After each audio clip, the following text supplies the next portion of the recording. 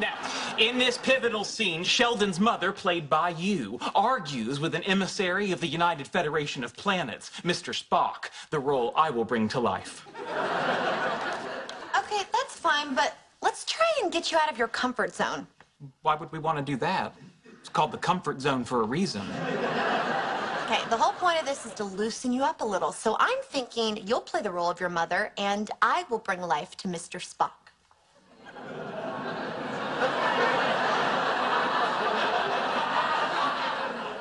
I'm sorry, you'll be Spock? It's only logical. Very well.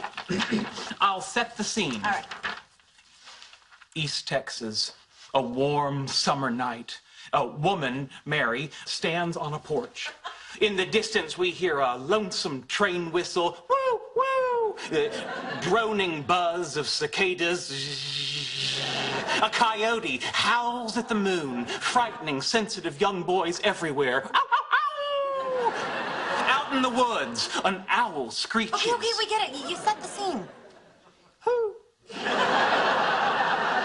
Right, just read your mother's line. Shelley? Shelley, how many times have I told you not to leave your sciencey stuff out on the porch? Goodness, I'll never understand that boy. But then again, I'm a religious nut, and my mind is closed to so many things.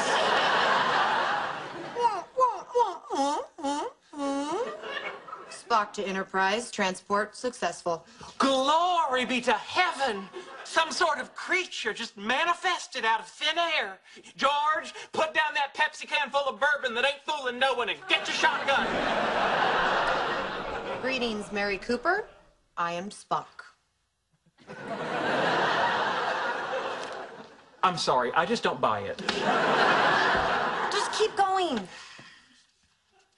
Oh my! Your sudden appearance startles me. We have been monitoring your son, Sheldon, from the 23rd century, and we have determined that he is now ready to join us. His unique genius is our best hope for bringing peace to a vast and troubled galaxy. I understand. oh, Shelley, a man's here to take you away to the future. And be sure to pack clean underwear. Okay, okay, let's try that last line again, and this time maybe try choking up a little. Why?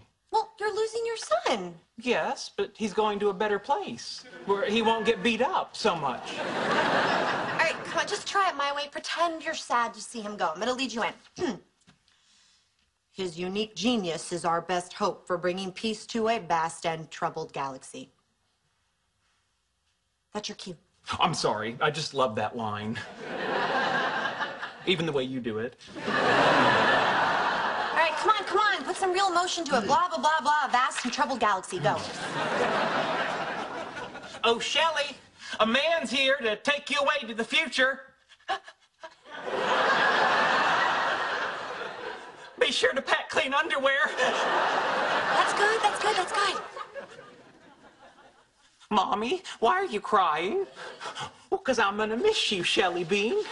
Even though you creeped the bejesus out of me. Okay, I guess we're improvising now. Well, I'm sorry. It's not my fault. I'm just incredibly smart, and everyone around here is dumber than a bag of rocks. oh, now don't you start crying. You get in that spaceship. Mommy's late for Indian bingo. Hey, it's Penny. Yeah, I think I broke your son. Hold on. Talk to your mother.